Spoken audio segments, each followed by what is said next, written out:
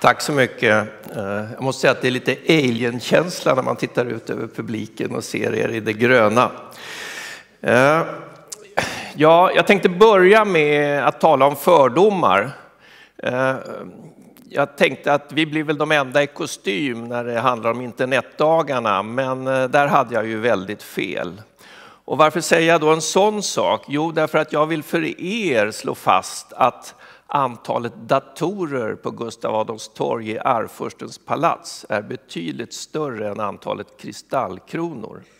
Även om man kan tro något annat om man passerar en mörk november eftermiddag och tittar upp mot UD-huset.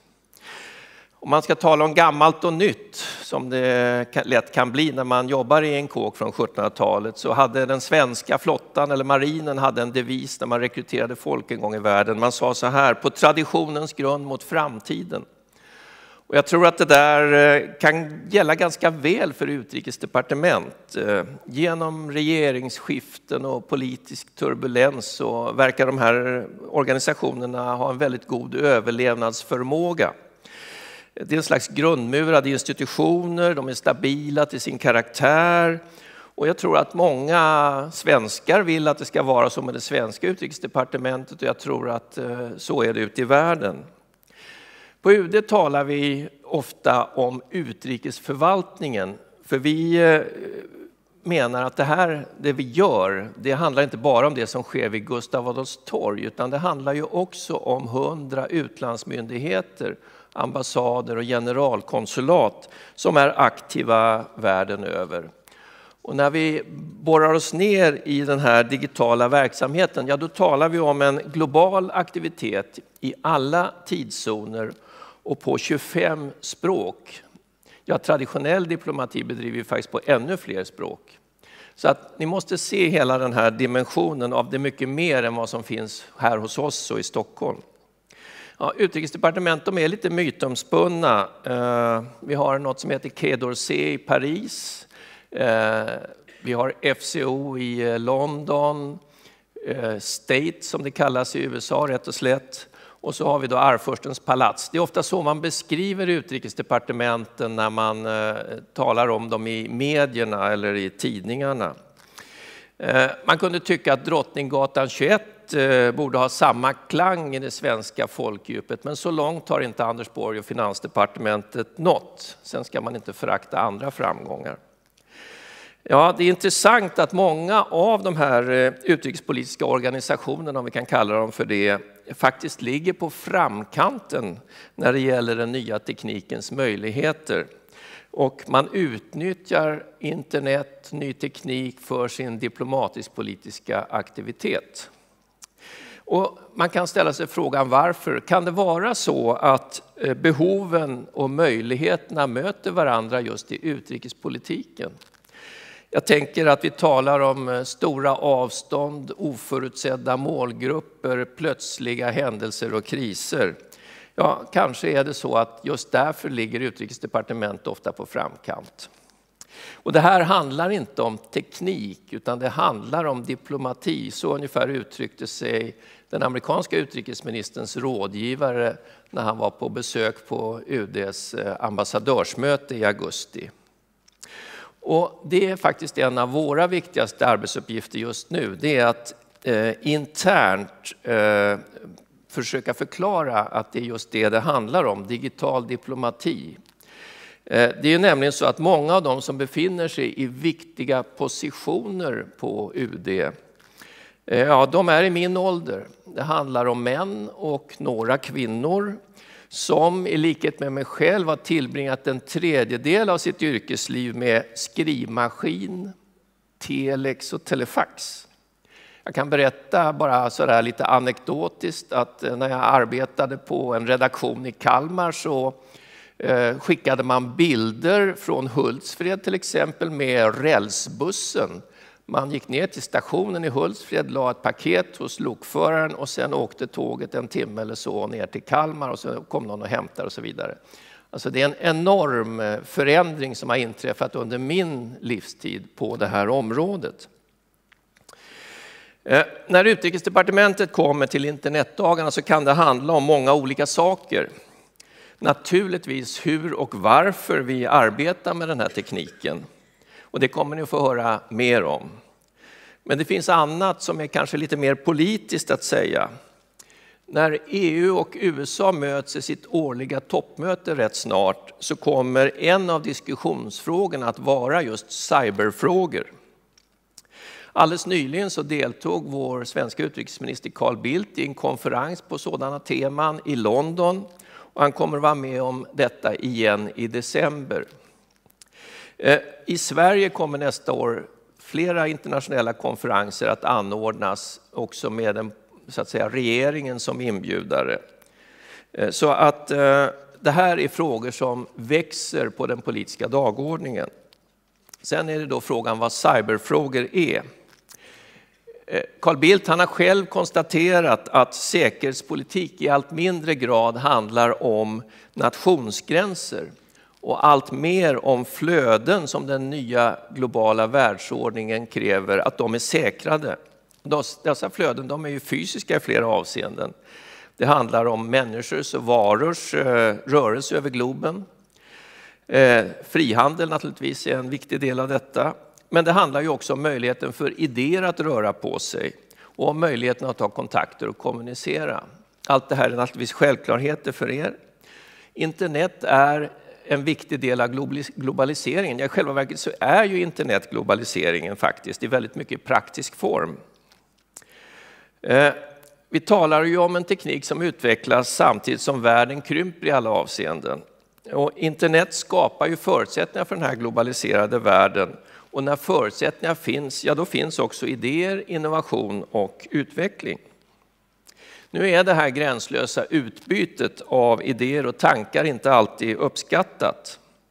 Vi har till exempel väldigt goda skäl att tro att den syriska regeringen är ganska besvärad över den rapporteringen som kommer i ord och bild om förfärliga övergrepp. Och att detta är möjligt trots att man i praktiken har förbjudit journalister att verka i Syrien. Eh, och till exempel följer vår ambassad i Damaskus de sociala medier som finns i omgivningen för att kunna skaffa sig själv en bild som inte bara färgas av det etablissemang som man ju naturligtvis ofta träffar.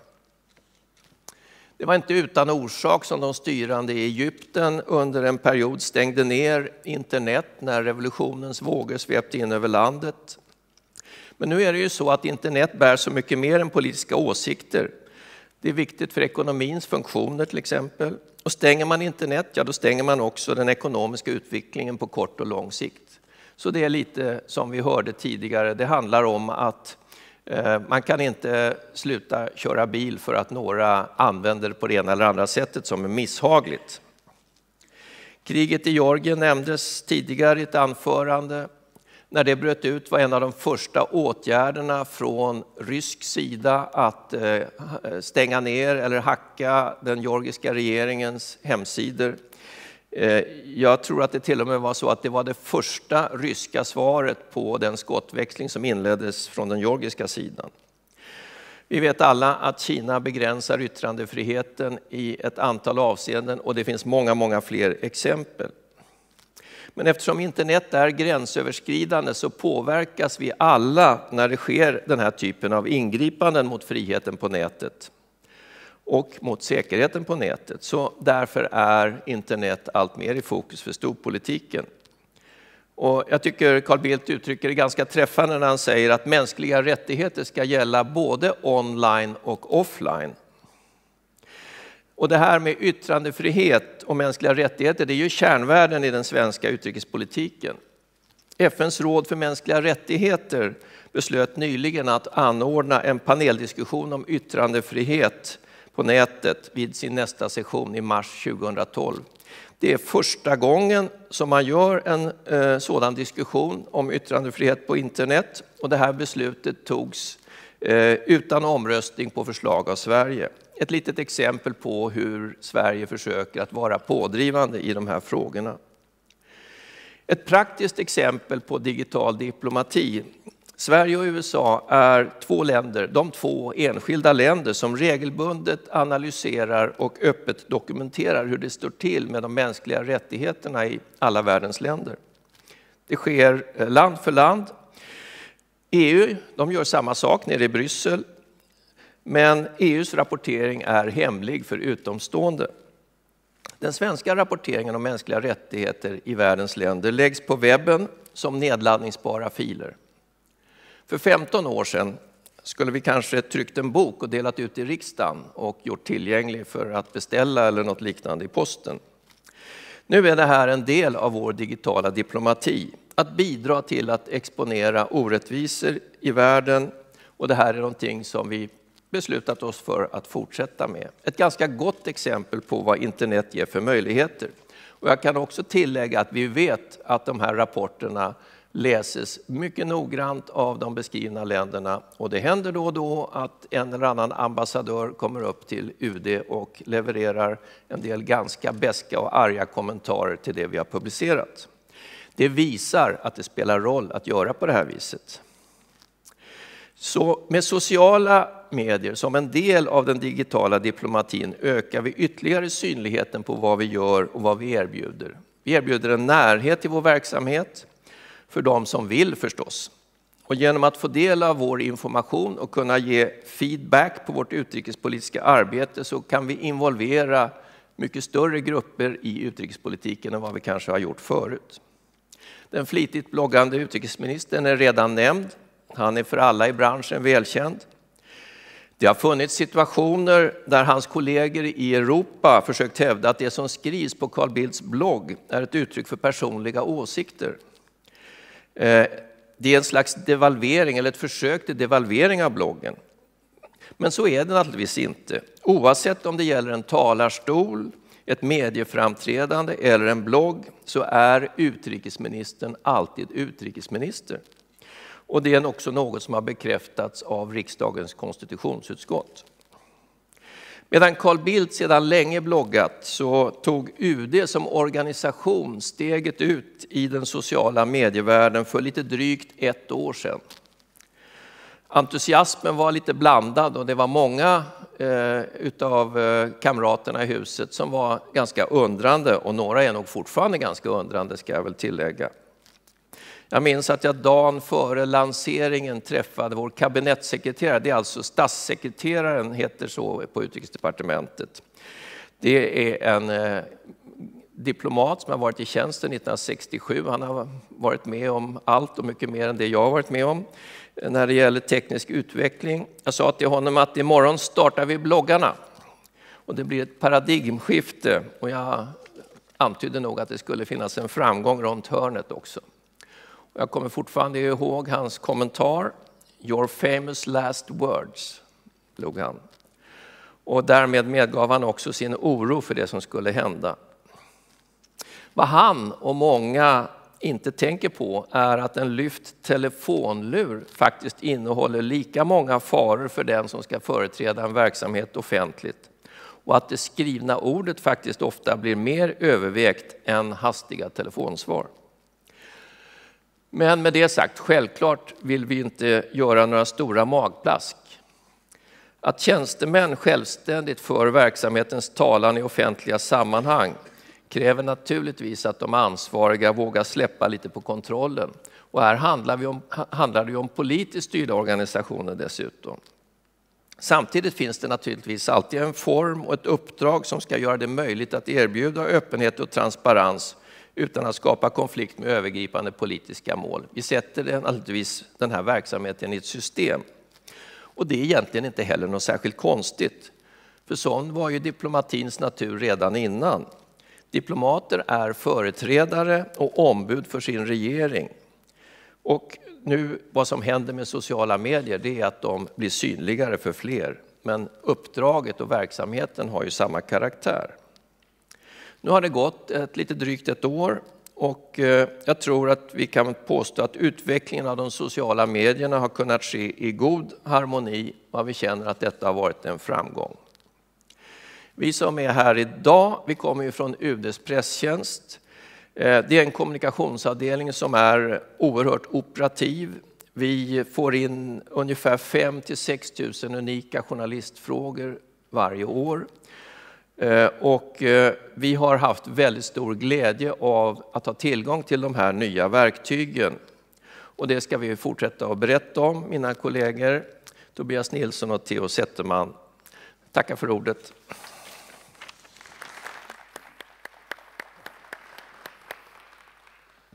Hej, jag heter Tobias Nilsson. Här är Theo Zetterman. Hej. Eh, ja, så här ser det ut där vi jobbar. Vi svarar på frågor dygnet runt. Ehm, de mesta frågorna handlar egentligen om eh, svenskar som har råkat illa ut i utlandet på ett eller annat sätt. Ehm, eh, de kan ha blivit frihetsberövade, smugglat någonting, eh, råkat ut för brott och så vidare. Och det är oftast i de sammanhangen jag tror man läser om UD om det inte handlar om eh, Bildt som kommenterar någon, någon händelseutveckling eller liknande. Men det är inte så många som har träffat UD-tjänstemän eh, på ambassaderna runt eller i Stockholm, utan, utan eh, eh, ja, och de som gör det, då är de oftast på, på resa. Och det vet vi, sen, vi har undersökt lite grann, vi vet att de som har träffat ambassadtjänstemän eller råkat ut för någonting i utlandet har ganska bra erfarenhet av det. Men i övrigt så bilden av UD förmedlas av medier. Och hur ser bilden av UD ut då? då? Vi kan titta här är ett exempel. Här har vi en klassiker. Det är eh, eh, stereotypen av UD-tjänstemannen bekräftas tyvärr återigen eh, med eh, en bild av eh, de här kristallkronorna som Anders var inne och pratade om tidigare. Eh, den är ganska vanlig, återkommande. Eh, den här bilden däremot, från Indonesien är det här, 2006 när det var översvämningar drabbade landet, den är inte lika vanlig. Och den stämmer inte då med stereotypen och, och därmed så dyker den inte upp, där, men den finns. Och vi har känt som har jobbat på UD länge att det finns ett behov av att bredda den här bilden, att det inte bara är ytterligheter tillägg där. Första bilden visar ju en av våra medarbetare på fritiden och den andra bilden visar ju en medarbetare i tjänsten. Eh, 2004 eh, drabbades världen av tsunamin, som alla känner till. Eh, Sverige drabbades hårt. Ehm, och eh, UD fick mycket hård kritik, bland annat för senfärdigt agerande, dålig kommunikation. På många punkter stämde det där, tycker jag. Men det framkom också att förväntningar på vad UD kan göra är på många sätt orimliga. Och eh, det blev tydligt efter. Och vi tittade, försökte då titta närmare på vad, vad, är det, vilka förväntningar har man, hur ser man på UD? Eh, vi ställde om organisationen ganska mycket efter det här. Vi, vi förstärkte vår beredskapsdel rejält. Vi förbättrade kommunikationen och eh, försökte berätta mer om vad vi gör. Vi, vi, vi eh, deltog i tv-soffor och vi försökte vara med för att berätta också vad begränsningen är.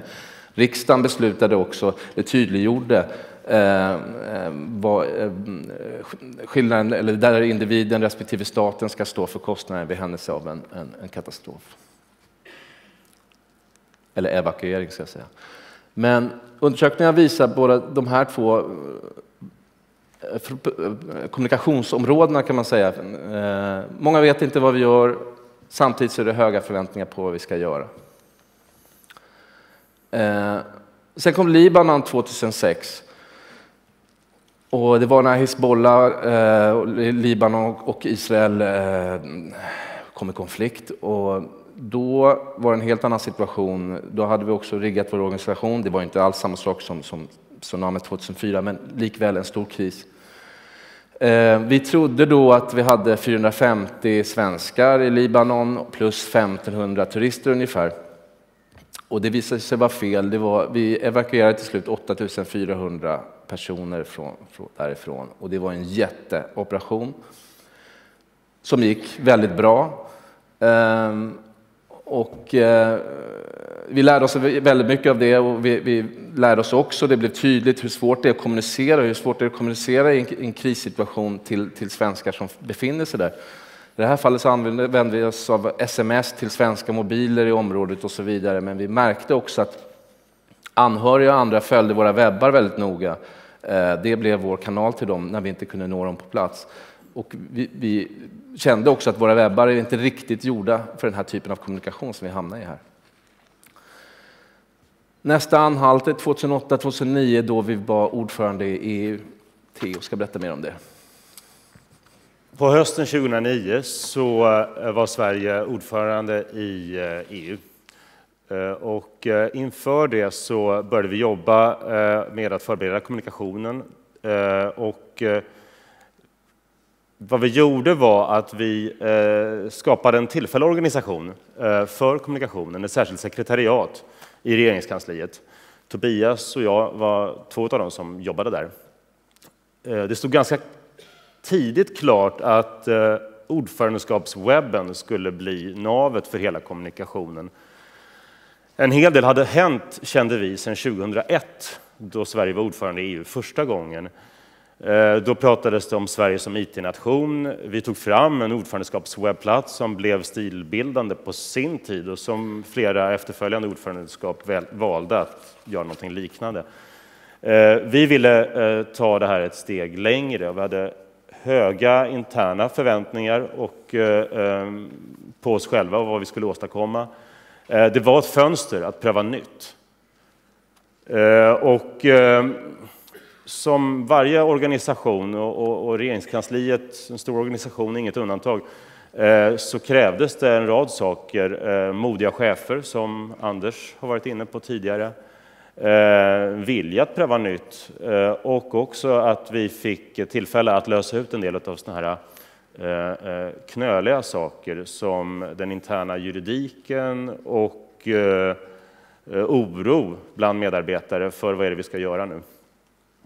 Ehm, men vi gjorde lite undersökningar eh, inför det här, för vi ville kolla med våra eh, särskilt viktiga målgrupper som vi identifierade och bland dem fanns då beslutsfattare och journalister i Bryssel och också EU-journalister i, i Sverige. Och de undersökningarna de gav, om man ska sammanfatta det, eh, ett resultat, öppenhet. Det är, det är som man kunde förvänta, sammanfatta ehm, förväntningarna på vad Sverige skulle åstadkomma under ordförandeskapet i, i fråga om kommunikation, men också hela arbetssättet. Ordförandeskapswebben blev som sagt navet för kommunikationen och eh, vi arbetade eh, nära den politiska ledningen eh, i regeringskansliet. Det var en framgångsfaktor, att sitta nära källan. Eh, efter ett tag så arbetade vi upp ett förtroende hos den politiska ledningen för vårt arbete och eh, Eh, fick ett eh, väldigt starkt och tydligt delegerat ansvar att, att föra ut kommunikationen runt Sveriges ordförandeskap. Eh, vi kunde jobba snabbt, vi kunde jobba effektivt och vi gjorde också lite test med sociala medier. Det här var då hösten 2009. Det är ju ganska sent, men det har redan känts som att mycket tid har gått och mycket har hänt. Det här var på slutet av ordförandeskapet så kopplade vi ihop ordförandewebben med Twingly, Eh, blogglänkningsverktyget som, som de hade. Eh, så att om eh, en bloggare som skrev om någonting som vi hade skrivit på ordförandewebben och länkade till oss så fick de automatiskt en länk från oss till sin blogg. Ehm, vi var de första som testade det. Det var jättekul. Det föll väl ut. Det var, inget, det var ingen stor sak liksom i volymmässigt, men, men det var ändå ett sätt att visa på den här öppenheten. Vi hade flera medarbetare som eh, eh, twittrade och det var också första gången eh, vi testade det i, i regeringskansliet och en av de första myndigheterna. Eh, vi hade eh, statsministerns pressekreterare då, Robert Alenius bland annat, som eh, twittrade eh, med flöde upp på startsidan. Eh, det var klimatförhandlingarna, det var COP 15 i Köpenhamn fram i december. Där hade vi eh, några av nyckelspelarna i förhandlingarna som också eh, twittrade. Som sagt, små försök. Eh, här är ett citat från Tony Barber som då var, eh, sedan flera år tillbaka, Financial Times eh, Brysselkorre. Citatet kommer från mitten av juni, ett par veckor efter vi lanserade ordförandewebben. Ett par veckor innan vi tagit över ordförandeskapet och börjat fylla vår webbplats med information om vad som ska hända, om nyheter och intervjuer och allt möjligt annat. Um, the Swedish presidency website is the most impressive that any EU country has so far come up with. Ehm, det här var eh, en recension som vi i, i våra vildaste fantasier i bästa fall hade hoppats uppnå någon gång i oktober kanske. Ehm, det här blev en stor injektion för oss i vårt arbete och också liksom stärkte vårt självförtroende, också internt i organisationen. Ehm, bland alla medarbetare som, som hjälpte till med kommunikationen men som jobbade med sakfrågorna. Eh, och eh, undersökningar efter ordförandeskapet bekräftade den här bilden, att det var flera journalister i Bryssel som, får vi höra fortfarande idag från medarbetare, som, som pratar om den svenska, eh, svenska kommunikationen eh, som, som lyckosam och öppen och snabb och trovärdig. Och det är vi väldigt glada för. Det här var som sagt ett test, ett fönster där vi kunde testa nya saker. Sen eh, tog ordförandeskapet slut i skiftet 2009-2010 och vi var tillbaka på UD med samma kommunikationsutmaningar. Ja, eh, vi hade fått in energi och upptäckt nya saker. Vi ville ta flera steg. Vi visste att vi hade samma frågeställningar ungefär att jobba med. Eh, man vet inte vad vi gör, höga förväntningar. Eh, då, och vi hade en miljö, det här var vad vi hade att jobba med, eh, regeringens webbplats, som vi tyckte var trist. Och det tyckte också utrikesministern, vilket han skrev om i bloggen då och då.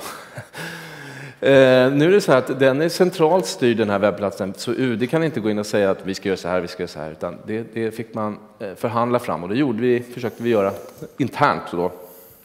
Men det var inte så lätt, vi hade inte samma målbild riktigt, kanske inte heller samma kommunikationsproblem. Eh, för jag, jag kommer ihåg vid ett möte när jag satt då med andra redaktörer och de som bestämde webbplatser så sa jag eh, man kanske skulle få in lite liv, någonting levande, eh, människor, vilka det är som skriver, kanske bilder.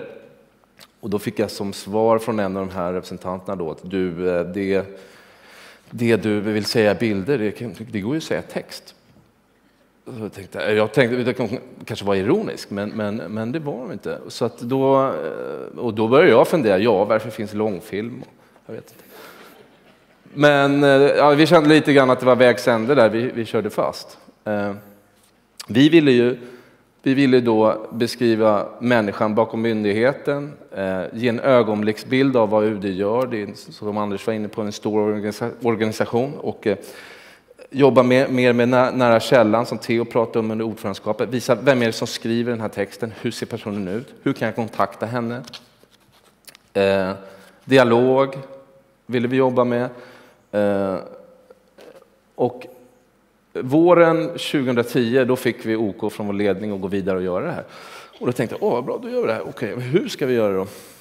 Hur gör man? Hur visar man människan bakom myndigheten och, och eh, hur berättar man vad, man vad vi gör för någonting? Ja, vi får berätta vad vi gör. Eh, och då pratar vi med ett antal medarbetare runt om på jorden. Eh, seniora, juniora, kvinnor, män. Försökte få en bredd också i frågorna och var de kommer ifrån och frågade om de vill göra det här. Eh, berätta om deras dagliga, deras vardag helt enkelt, högt och lågt. Och vi använder då det här, ett verktyg som heter Wordpress som ni alla känner till.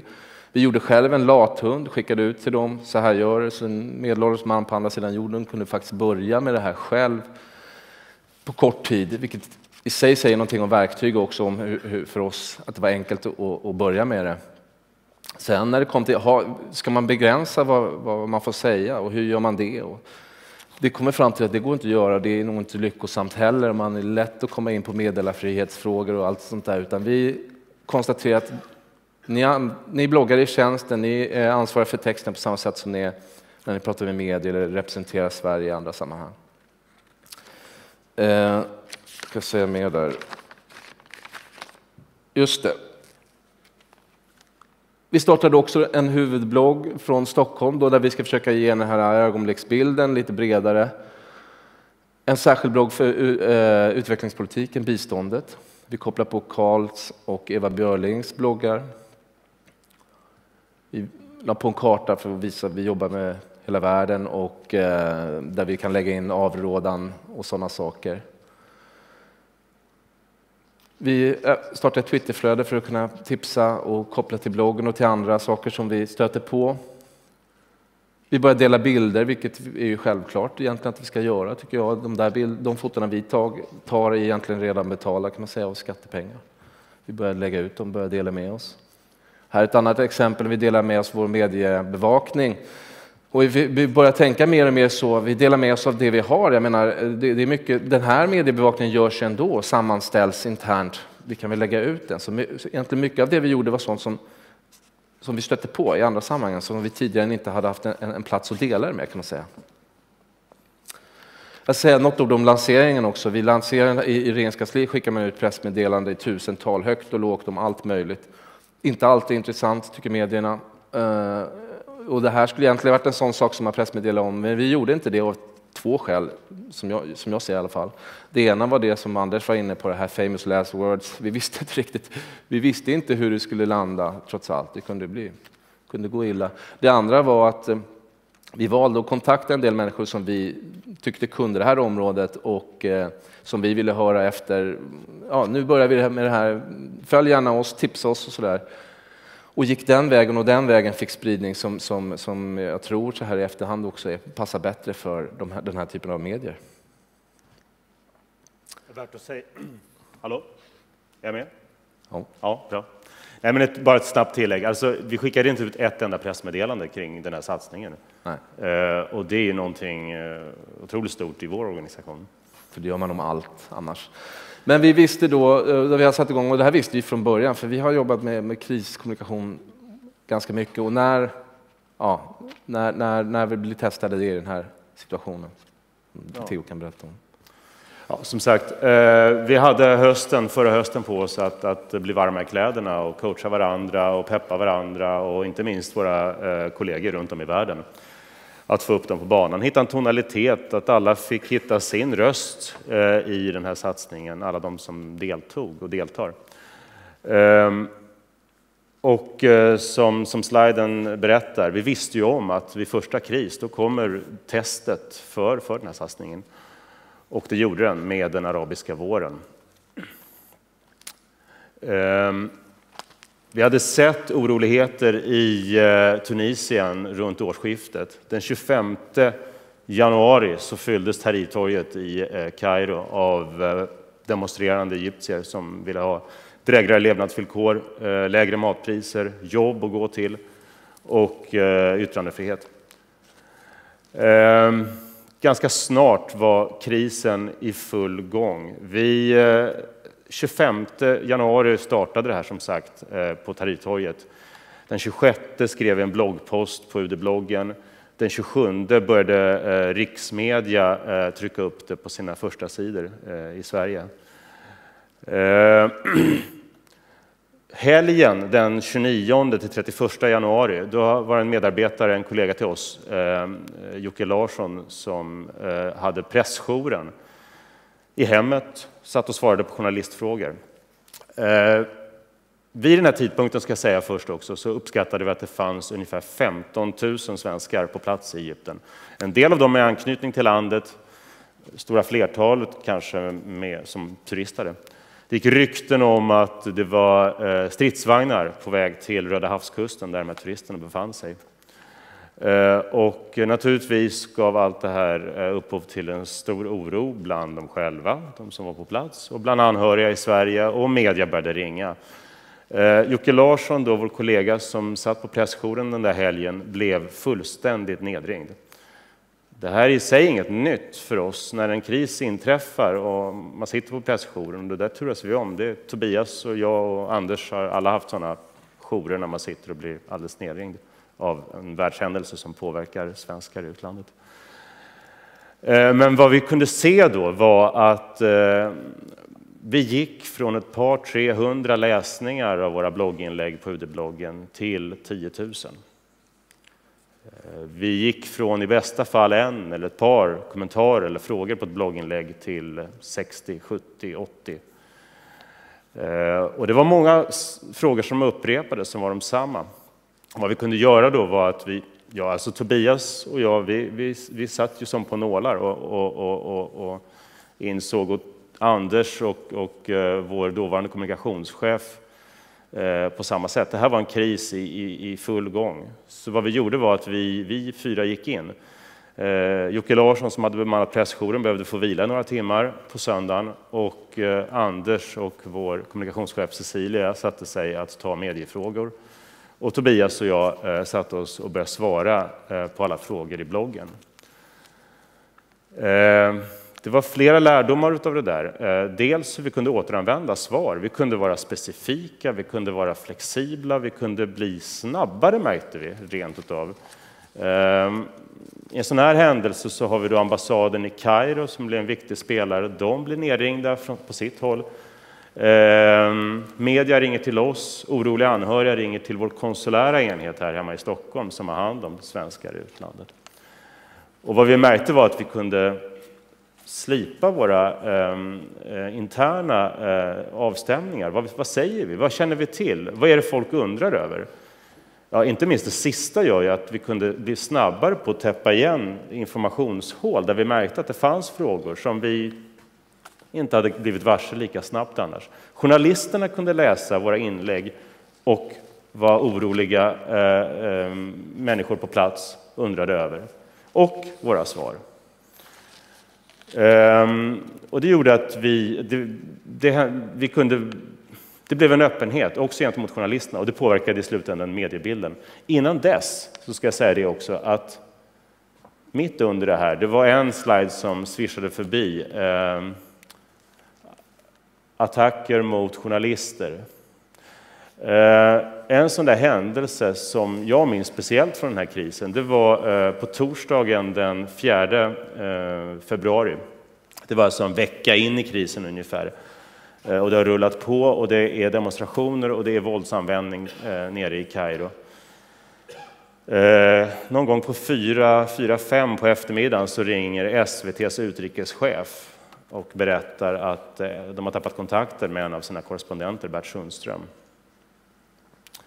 Eh, och det satte igång en enorm aktivitet eh, internt på UD, för vi förstod ju allvaret i det här.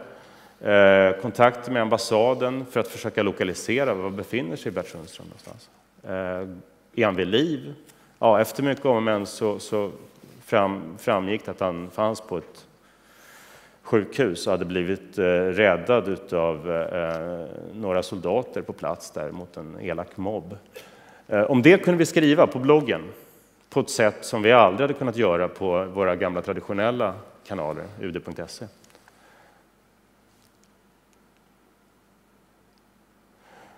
Sen är det ju flera som har kallat det här för en Facebook och Twitter-revolution, det vi har sett i Nordafrika, eh, på grund av de sociala mediernas roll.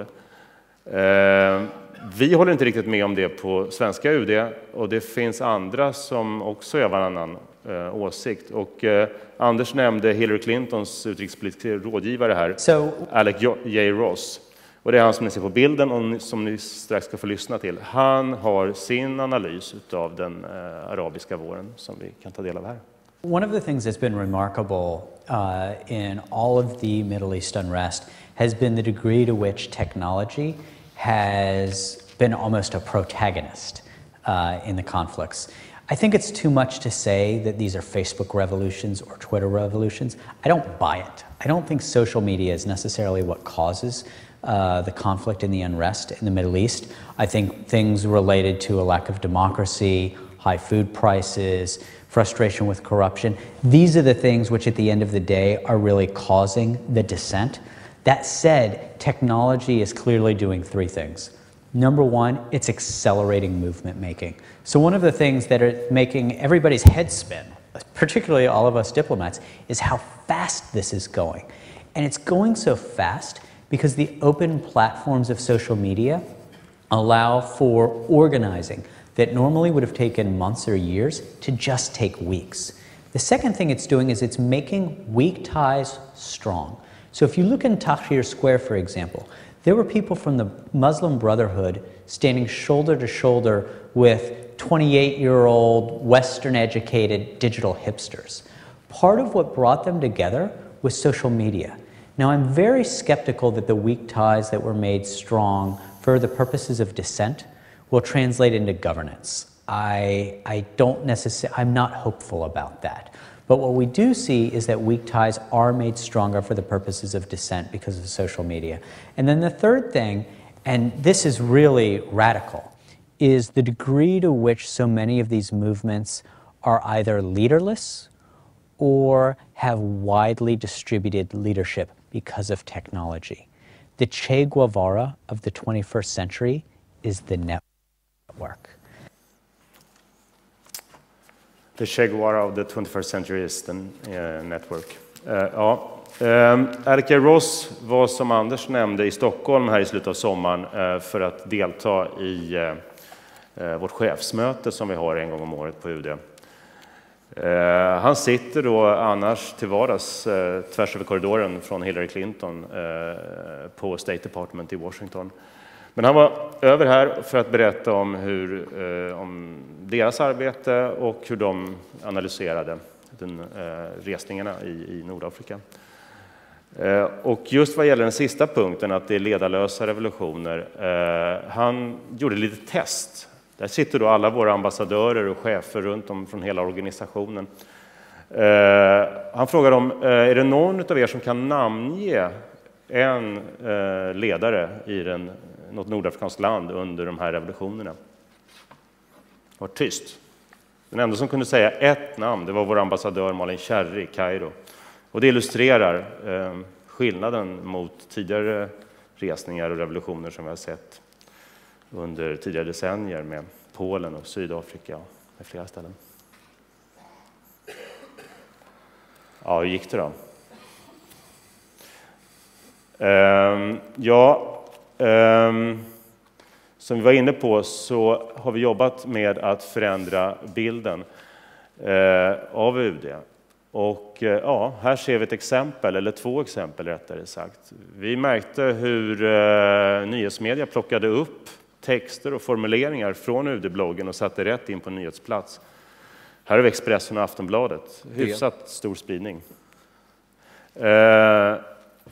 Vi eh, såg också att eh, ehm, ledarskribenter, här är Lena Melin på Aftonbladets ledarsida, gick in och läste bloggen och läste kommentarerna och läste våra svar. Eh, det var som sagt rykten om stridsvagnar och, och, och, och utsikten att bli hotad till liv och lem var ju som sagt, kunde blivit en mediehistoria. Nu skriver hon istället om oron för att man inte ska få sin resa återbetald. Eh, och frågan om vi skulle avråda från resor till hela Egypten eller delar av Egypten. Eh, och det är ytterst en försäkringsfråga eller en fråga för resebolagen och det kunde vi reda ut. Eh, här ser vi hur förväntningarna kunde förändras lite grann på, på UDs roll i en sån här kris. Eh, ett par andra exempel, en breddad bild av våra medarbetare. Till vänster så ser ni en intervju som eh, turkiska tidningen Hurriyet, som är Turkiets största dagstidning, med vår omvärldsbloggare där, Helena Storm. Eh, de var fascinerade över att vi hade släppt loss en medarbetare att blogga alldeles fritt, utan några som helst instruktioner annat än att de gör det i tjänsten. Eh, till höger så är det en intervju av Anders Milner eh, som väl flera av er eh, är bekant med på Svenska Dagbladet, sociala mediekommentator där. Där han intervjuar Diana Janse, vår ambassadör i Tbilisi, Georgien. Och hon förklarar bland annat hur journalisterna har förlorat monopolet. Och det var någonting som vi märkte under kriserna, inte minst. Vi hade möjlighet och, att på ett lätt och behändigt sätt gå in och berätta hela vår bild av ett skeende och följa upp och förklara på ett sätt som tidigare kanske inte alltid har kommit ut. Ja, bättre bild av UD. Eh, den här satsningen eh, gjorde vi ju innan E-delegationens riktlinjer fanns på plats. Det här är deras julkalender från förra året där eh, en av dagens luckor i form av en post på deras webb var att UDs blogg ger insyn i vardagen. Det skulle kunna varit någonting som vi står och säger här, alltså ett sätt att förklara vad är det vi håller på med och varför. Här gör E-delegationen det och det blev vi såklart glada för. Eh, och sen på tal om det här med bilden och schablonbilden och, och vi pratar eh, datorer kontra eh, kristallkronor ja, det blir en nyhet i sig att vi gör det här. De här nyheterna är från ehm, jag har Dagens Media där, det är väl från eh, augusti-september förra året om inte jag minns fel. UD tar klivet in i de sociala medierna. Ja, vi gjorde som sagt de här undersökningarna, SIFO-mätningarna 2005 och 2007. Eh, I våras så gjorde vi en ny mätning eh, för att följa upp de två tidigare. Och nu är det naturligtvis så att ni ser de bättre siffrorna. Det är naturligtvis så att eh, vi kan inte förklara den här satsningen att det är den som ensam har åstadkommit det här. Självklart inte. Men hade vår satsning sammanfallit med att siffrorna hade varit helt de samma, ja då hade vi kunnat säga med säkerhet att det inte haft någon betydelse alls. Nu har siffrorna rört på sig. Eh, vi har fortfarande en hel del att göra, men, men helt klart, och det tror vi på, att eh, eh vårt samlade kommunikationsarbete i UD, där eh, sociala medierna är en del, har självklart påverkat det här. Mm. Ja, vi ska försöka titta lite framåt och eh, vad som händer framöver. Vi jobbar ju på, vi, håller, vi lär oss hela tiden saker, eh, vi är nybörjare. Men vi försöker titta lite framåt. Eh, för någon vecka sedan så var då utrikesministern i London och där var också Theo med och träffade motsvarande till Alec J. Ross vi såg tidigare, fast från Storbritannien. Han heter Jimmy Leach och här berättar han om ett exempel hur de använder Twitter för att lokalisera britter till exempel. a tsunami in Chile, uh, lots of people killed, and um, the British press were declaring two British surfers dead. And uh, we tracked them down alive and well through Twitter because there was a, a, hostel on the north coast of Chile tweeting out that they found these two British uh, surfers who, had been rescued from, from the raging seas or something equally dramatic picture. Um, now we got in direct contact with them and, and checked out their identities and so on, and were able to um, collect them and bring them home, but also able to tell their parents that the people who their sons had been reading about on the front page of the press were dead were no longer actually dead. In fact, they had been dead clearly. Um, so it, we didn't say their lives through Twitter, nothing quite so dramatic as that, but the, the, the, there was a real personal impact for those families there. So that's, I think, um, quite powerful. And there's, there's that sort of reach, and that's, there's, there's a kind of practical reach which we're almost continuously doing where, particularly, I say particularly content, where we're doing direct contact with people. This isn't always one to many, it's sometimes just one to one. Sometimes it's one, one to one. Uh, Carl Bildt har också sagt några saker om, om de, användningen av den här typen av verktyg. Uh, han sa också nu vi ska analysera och agera istället för att observera och rapportera. Och här är ett litet exempel på hur, hur han själv gjorde det, lite kuriosa. Men det var bakgrunden till den här är att det var två svenskar som var frihetsberövade i Bahrain och vi fick inte träffa dem. Um, av någon anledning som vi inte fick reda på. Det, vi gick på och, och ambassaden uh, gick på men vi fick inte träffa dem och då uh, skickade Carl Bildt den här hälsningen till Bahrains utrikesminister. Och då fick vi faktiskt träffa dem. Bara ett exempel. Ehm, och då talar vi mer om digital diplomati när man också använder andra språk och riktar sig bredare. Nu är det så, våra, MR, alltså, våra rapporter om mänskliga rättigheter är skrivna på svenska men de översätts ju och, och eh, ambassader som finns i Stockholm bevakar ju vad alla gör, det är deras jobb så att säga. Men om man verkligen riktar sig utåt på andra språk än på svenska så börjar man tala mer om digital diplomati. Och vi försöker ta några steg och, och dra lärdomar av det vi har gjort på svenska och i Sverige och också försöka göra det runt om. Eh, och jag börjar här, ser vi några av våra ambassadörer runt om som har eh, egna bloggar och berättar om deras verksamhet. Vi har startat ett flöde, inte på engelska då, till att börja med, eh, där vi ska, eh, där vi ska jobba enligt samma modell vi har gjort på svenska. Många ambassader är redan ute med Facebook-sidor som riktar sig till landet där de verkar. Eh, så det är någonting som vi jobbar med och, och eh, kommer jobba mer med. Och det här var två projekt som jag vill visa som vi tror på, som vi är stolta över, som vi tror på att vi kommer jobba mer med i framtiden, den här typen av lösningar. Det första är OpenAid, eh, som Jocke var inne på, nämnde eh, i inledningen. Eh, det handlar ju då om att eh, ge vår data som vi har om biståndet från Sida och UD i ett öppet API där datan ligger tillgänglig för andra att förädla och använda på olika sätt. Och vi ser det lite som ett flaggskepp och vi tror att fler kommer göra det här. Det är, och bidra med data och andra sorterar den så att säga. Det eh, vi, vi, tror att det här är sättet att göra det på, men det, men det är inte helt enkelt. Och eh, biståndsministern då som står bakom det här initiativet beskrev det någon gång som att det är få ordning på saker som ligger huller om buller i byrålådor och i en databas där och ett system där och få det här att prata med varandra. Eh, det är ju allmänna handlingar, så egentligen vi ska lämna ut de här och det gör vi när folk frågar efter dem. Men att få dem tillgängliga på det här sättet på en data som går och eh, är snygg och så, det är en stor resa i sig. Och den resan börjar med viljan att göra det och det tror jag att fler kommer vilja göra. Eh. Det här är vår andra baby som, som vi är stolta över. Det är en, en app för smart smarttelefoner. Nu är den här för iPhone och den har laddats ner över, 40 000, över 43 000 gånger faktiskt. Och där har vi samlat den data som vi vet är mest efterfrågad i reseinformation och den typen av avrådan. Och vi jobbar med en Android-version nu om man tänker sig ett framtida Libanon som vi berättade om tidigare, som berättade om tidigare, när fler har smartphones och eh, att vi då kan nå, under förutsättning att, att man inte har stängt av internet då, som i Egypten, men, att vi då kan nå svenskar rätt i fickan precis där de är, eh, ser vi som en framtida lösning för i synnerhet i kriser. Och vi hamnade faktiskt först i, i App Store här, före snap, Snapsvisor. Då här var då eh, kring midsommar, så det är en jättegrej.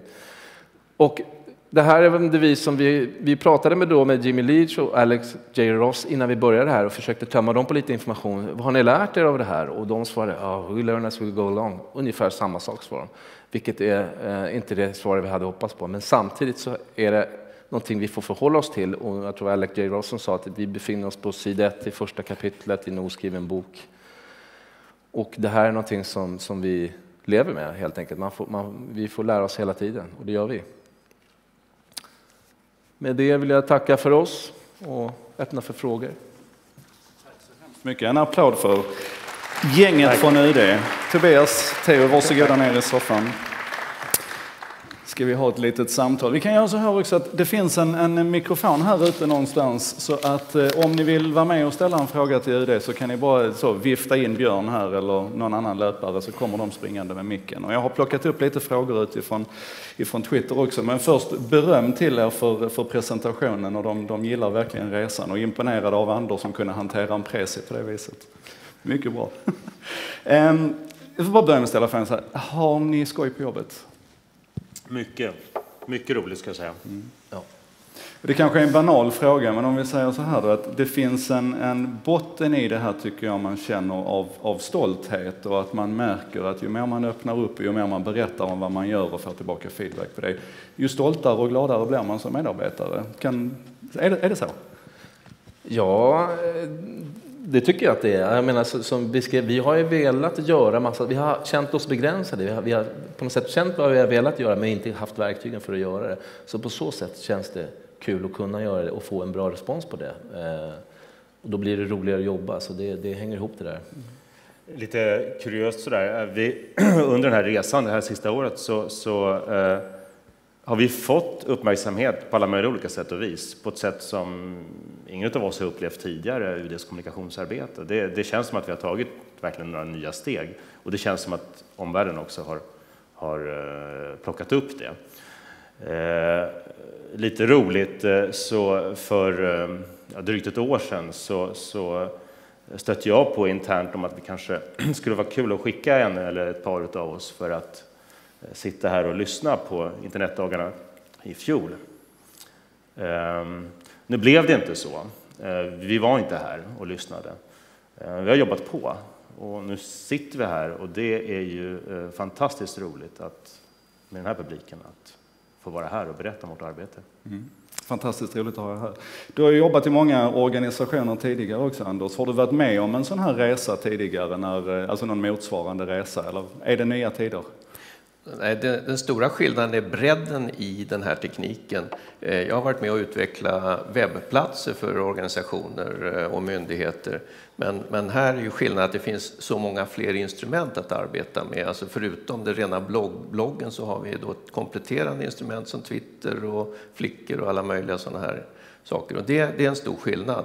Eh, och eh, det som skiljer en klassisk webbplats från de här instrumenten är ju att det eh, är nästan omöjligt att, eller, ja, det är omöjligt att kontrollera som chef i en organisation. Utan organisationen måste hitta andra sätt att skapa en samstämmighet i det här arbetet. Och det bygger ju sin tur på väldigt mycket intern kommunikation, att man delar med sig av eh, riktlinjer, att man delar med sig av hur man ser på, på den politiska utvecklingen och på sitt uppdrag. Lite på det temat fick vi en fråga från Info-Erik här ute på Twitter som tyckte att vi skulle framföra till er. Om du kan ge några exempel på vad ni inte kan eller inte får göra i sociala medier. Är det någonting där ni har liksom boxat in och sagt att nej, det här det lyfter vi inte ut där?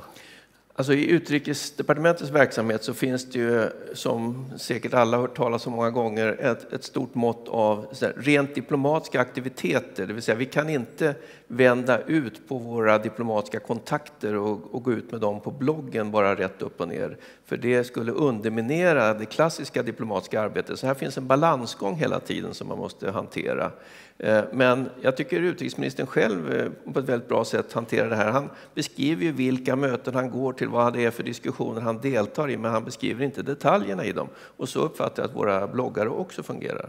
Mm. Tobias? Ja, det är, det är en tydlig eh, en tydlig sak som vi... Hörs jag? Det, det är konsulär sekretess. Alltså, vid några tillfällen under Egypten så var det någon som började skriva min släkting som heter det och det och det och sådär. Och det vill inte vi ska hamna där, utan det ska, då ska man höra av sig till ambassaden och så blir det ett ärende eh, som, och som vi hanterar i vanliga fall, just för att inte exponera personen. Eh, och, och de ska skyddas. Eh, där har vi en tydlig gräns. Mm.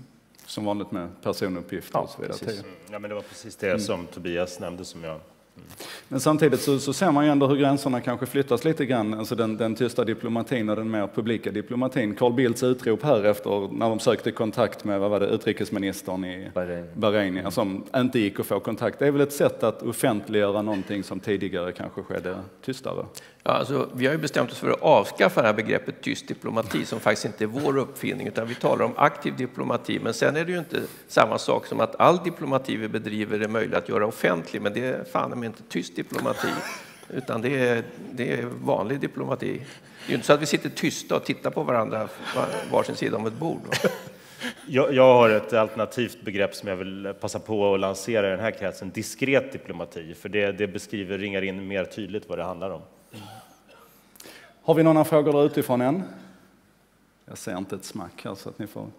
Ingen? Nej, blyga människor i publiken här. Där har vi en fråga, då tar vi den först. Jag heter Håkan Sälj, är forskare i frågor som har med användning av internet att göra. Det var väldigt roligt att höra presentationen och se resultaten av de här eh, attitydundersökningarna som var väldigt imponerande. Eh, min fråga gäller i vilken utsträckning de här första siffrorna från 2005, om ni bedömer att de var så att säga representativa för UD historiskt. Och alltså min fråga är då, hade ni några tidigare motsvarande attitydundersökningar att referera till? Eller om ni inte hade det, har ni någon känsla för eh, representativiteten så att säga?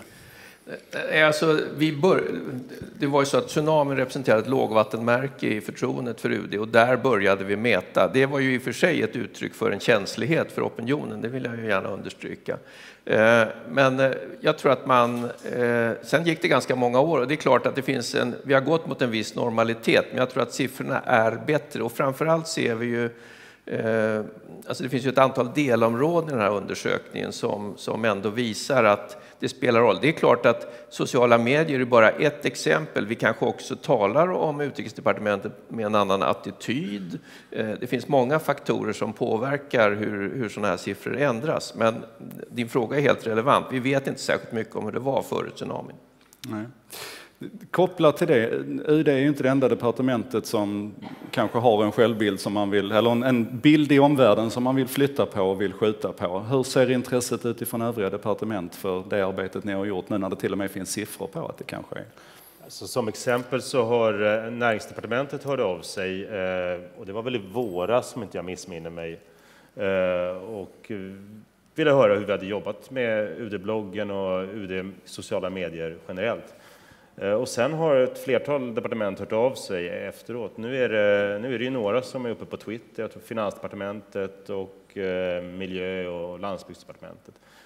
Så att det rör på sig i organisationen, det gör det absolut. Och det är flera av dem som har av sig. Kulturdepartementet hade en eh, två dagars eh, såna planeringsdagar här i slutet av sommaren eh, där jag och en annan medarbetare var och berättade om vårt arbete. Mm. Så det är kul. Sker det, sker det en sån utväxling när det gäller de tekniska verktygen och, och själva igångsättandet också? Jag såg Försvarsmakten lanserade ju relativt nyligen sin bloggportal och den ser ju nästan ut exakt likadan som er. Var det mycket samarbete inför det? Eller? Nej, där har vi inte hört någonting. Nej, inte just Nästan varumärkesintrång. Ja. och det var kanske en lite ledande fråga. Men, ja. Nej, inte just det faktiskt. Nej. Inte och, hur, hur, känns det? Alltså, känns det inte, är det inte lite bortkastat? Bortkastat, hur då? Att inte de kommer till er och frågar hjälp oss, hur ska vi göra? Nej, men alltså, vi har haft flera andra myndigheter som har kontaktat oss eh, och vi fortsätter att få sådana förfrågningar eh, för att höra liksom, våra erfarenheter och hur vi har jobbat med det internt inte minst och, och sådär och saker, alltså, våra lärdomar så här långt. Och det är vi självklart öppna med. Det är någonting vi gärna delar med oss av, självklart. Mm. Så att, eh. Har vi fler frågor där ute? Där har vi en som viftar. Ja, eh, Malin Krona heter jag och jobbar på Sveriges Radio. Jag har en fråga till Anders Jörle om eh, att man ska försvara den här satsningen internt. Jag skulle vilja höra någon gång när det inte har gått så bra. Om det är ett känsligt exempel så behöver du inte berätta i detalj, men någon gång när det inte har gått bra, någon gång när du har varit tvungen att försvara antingen uppåt eller neråt i organisationen varför detta ändå är en bra satsning. Spontant kan jag faktiskt inte komma på ett enda tillfälle. Kan du det, Theo? Nej, eh, det, där, det är en jättebra fråga och det, det är en rolig fråga. Eh, jag reflekterade över det där för ett par veckor sedan. För menar, det är naturligtvis så, UD är en stor organisation. Vi har medarbetare runt om i hela världen eh, som har kontakter med media och uttalar sig dygnet runt bokstavligt talat i alla olika tidszoner. Eh, och det händer ju att vi har medarbetare som säger saker i mediekontakter eller andra kontakter som inte helt är liksom koordinerat med vad vi tycker i en viss fråga. Eh, det händer. Jag menar, det, det säger sig självt att det är liksom omöjligt att gardera sig från någonting sånt.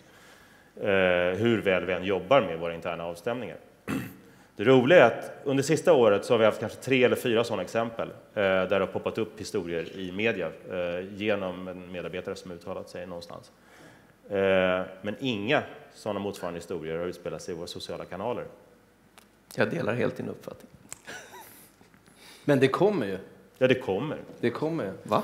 Det är klart det gör. Någon, men, men och internt, och för att svara på internt, där tror jag eh, i alla fall, jag menar sen att jobba med ordförandeskapet, det har varit en, en, en dragkamp så att säga. De juridiska eh, förutsättningarna är inte klara och, och, och, därmed fick då vi som ville driva det här svara på juridiska frågor eh, som var en gråzon. Så det har vi hållit på med hela tiden. Och så här, vi tror på det här, vi tror på det här. Det var därför vi också var lite spaka när vi väl kom och skulle lansera. För då hade vi argumenterat för det så länge. Så det, har, det måste jag säga har hela tiden varit ett, eh, ett arbete att berätta vad är det vi ska göra och varför internt. Det har varit det stora. Ja, komplement snabbt. Eh, nu har det arbetats fram eh, en checklista och eh, liksom ett embryo till rutiner för sociala medier i regeringskansliet som helhet. Och där har eh, du Tobias varit delaktig i det arbetet. Och det är något som kommer nu, men de lärdomarna, ja, det, det, arbetet kommer ju nu att bygga en hel del på våra erfarenheter, eh, för allt vad jag kan förstå. Och är baserat på E-delegationens mm. riktlinjer. Man, man, kan tillägga att i en kunskapsorganisation så förutsätts ju i stort sett alla medarbetare ha, bära med sig eh, information om, om organisationens värderingar, ambitioner, mål och så vidare. Eh, och, och, därmed så, och, och, är man då skicklig på att leda en kunskapsorganisation så ska det i princip inte behöva inträffa stora problem på det här området. Nej, det finns väl en, en liten tradition av att man ofta målar fram på väggen och att eh, man målar upp en värre bild än vad det sen visar sig vara i slutändan. Eh, men det här med, med, mandatet är intressant, alltså den enskilde medarbetarens mandat. Vi fick en fråga på Twitter från Ingrid Sundberg som undrar hur ni resonerade när ni bestämde att ni skulle ha personliga avsändare i tweetsen, alltså att man sätter en, en signatur för att se vem det är som har skrivit dem. Bra detaljerad fråga. Ja, Jättebra. Eh, det var faktiskt någonting som vi funderade på en hel del i början, för vi startade ju en organisatorisk Twitter, Utrikesdepp. Eh, gå gärna in och följ den. Eh, och, men, men där var det just det här, för att vi, vi snappade ju upp det att jag menar, många av rösterna på Twitter är personliga, det är personliga avsändare. Hur ska vi förhålla oss till det här? Vi var inne på, ska vi starta egna Twitterkonton? Nej, det är lite för bökigt så här inledningsvis. Vi vill testa och se det här och vi vill liksom också etablera ett varumärke med Utrikesdepartementet, det är en bra avsändare. Eh, så då crowdsourcade vi det eh, och frågade rätt ut om det var någon som hade några tips. Eh, och då kom förslaget att vi skulle sätta liksom ja, snedstreck och så initialerna och sen i vår kortbio på Twitter så, så, så, kan man ju se där då vilka det är som är aktiva. Och när vi skickar ut saker på Twitter, jag menar säg att vi tipsar om ett eh, blogginlägg som vi har postat precis, ja då, då är ju det liksom neutralt, alltså det, det är rätt ut från organisationen. Men så snart som vi får frågor eller liksom går in i dialog eller pratar med folk på Twitter, då, i mån av utrymme så slänger vi alltid in initialerna. Okay, det, det, här är ju inte konstigare när vi skriver ett dokument, ett PM eller någonting, så sätter vi också ett namn på PM-författaren. Det är bara att formen är annorlunda, men det finns ju alltid en identifikation till den som har producerat eh, texten, hur liten den än är, eller kort. Ja, det tycker jag är en bra illustration i så fall. För det var ju ett glapp mellan webb och PM. så att säga. Webben var bara en massiv grå massa av texter, upplevde det som. Och den, den var ogenomtränglig, tror jag, för många och många andra. Och en styrka, eller för att sociala medier ska funka så, så långt jag har, har, lärt mig i alla fall, är just att det krävs att det är någon som man, som man vet vem det är lite grann. Eller i alla fall att man har möjligheten att ta reda på vem det är. Att, att det är nästan en förutsättning tror jag. Mm. Och det, var ju, det är en stor skillnad för oss från tidigare. Så att säga. Ni var ju inne på det i presentationen, mycket av det ni producerar öppet nu, det producerades ändå, men det hölls liksom i de interna PMen och det hölls slutet tidigare. Och öppenheten är väl någonting som är centralt, och öppna licenser på bilder och öppna licenser på allting ni gör. Hur mycket har det påverkat bilden? Alltså hur, eh, hur viktig är öppenheten med Creative Commons-licenser och så vidare? Det går, inte att, alltså det går inte att kvantifiera hur det påverkar bilden, som vi var inne på här. Det, det, det, det låter sig nästan inte göras, men, men någon påverkan borde det ha. Och som, som vi också har tagit upp, det känns ju ganska självklart idag. Eh, det här är skattefinansierad verksamhet. Vi tar bilder, vi har omvärldsbevakning. Det är helt okontroversiella saker.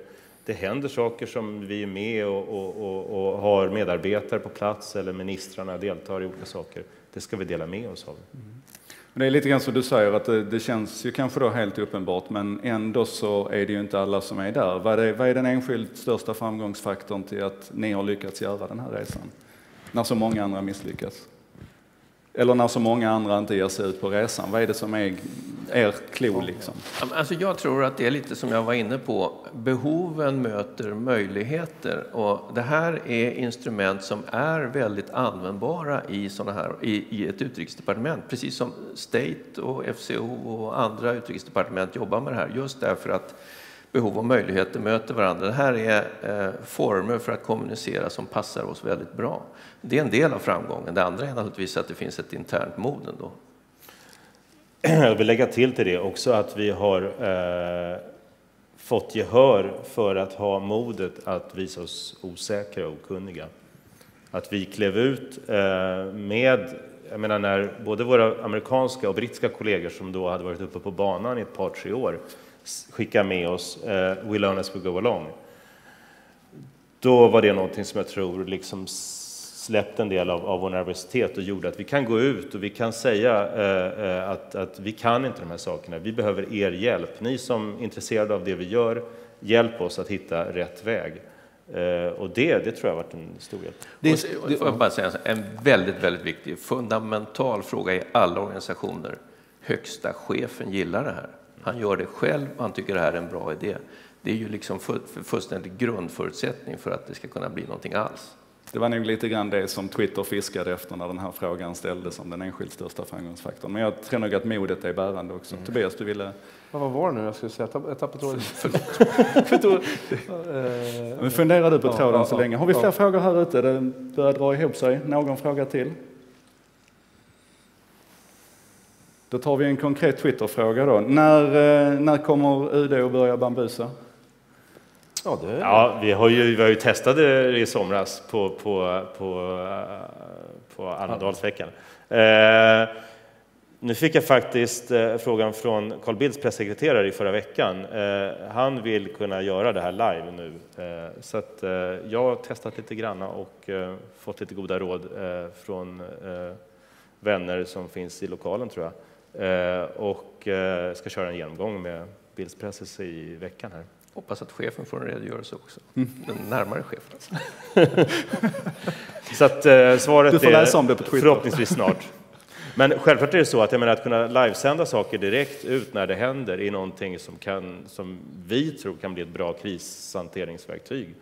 Säg situationen i, i, i Egypten, i Kairo, att, eh, där vi satte upp en informationsdisk ute på flygplatsen. Ambassaden åkte ut och satte upp det eh, på flygplatsen utanför Kairo dit svenskar kommer. Att då kunna stå där och köra en kort sammanfattning av läget. Nu vi har precis satt upp det här nu, göra en liten svep över flygplatsen, entrén, här kommer ni in, här står vi. Så. Det är klart att det ger ett mervärde. Och andra saker också, när man vill få ut ett budskap snabbt. Och där, det gäller ju framförallt eh, utrikesministern. Mm. Jag ser ingen som viftar, så då tar vi en 10 000 kronors fråga här som också dök upp på Twitter ifrån Jomano som säger så här. Um, hur ser riktlinjerna ut för de anställdas närvaro på internet? När är man att betrakta som privat kontra myndighetsperson? Den är oerhört svår, den mm. frågan. Just därför. Och jag, tror, ja, precis, nej, men jag förstår att den ställs. Och den, eh, ja, när, vi, när vi började med det här så, så, så fick vi den frågan, så, vad ska ni göra och, och, och, vad får folk säga och inte säga? Och det fanns som sagt inget juridiskt att hänga sig i riktigt. Eh, och, och, vi landade i det här, du är tjänsteman, med det som vi försökte spela ner det hela tiden. Alltså, nu pratar jag om vi som jobbar med kommunikationsfrågor. Spela ner det till att det, det, är saker som vi gör nu. Vi ska inte förändra för mycket, för då, då, det är då det blir problem. Man uppfinner helt nya saker, tänkte vi. Utan du, ska, du, du har samma skyldigheter och eh, förväntningar som du har annars. Den, men den andra den frågan om det privata, det vill säga i ditt privata, på ditt privata Facebook-konto där du berättar om saker på jobbet som du kanske inte borde göra. Det, den är mycket svårare. Där har vi, inga, eh, inte vad jag vet, inom regeringskansliet någon tydlig riktlinje kring det. Så svaret är ju egentligen, när du arbetar i våra kanaler så är du ju offentlig tjänsteman. När du, arbetar, eller när du är på din privata Facebook så är du dig själv. Och jag tror inte det finns någon annan gränsdragning som är möjlig. Eller... Nej. Nej. Det är kanske också ett område där vi learn as we go along. Kanske framförallt att frågan på något vis inte är besvaringsbar annat än hos den enskilde. Jättetack till er. Inga fler frågor? Det är ändå dags för oss att börja avrunda. Det kommer alldeles strax att sändas live härifrån igen. Då har vi Eva Hamilton, VD på SVT, som kommer att hålla en keynote här inne. Men eh, för nu så skulle jag bara vilja tacka Theo Zetterman, Tobias Nilsson och Anders Görle från UD med en jättevarm applåd. Tack ska ni ha. Tack. Tack.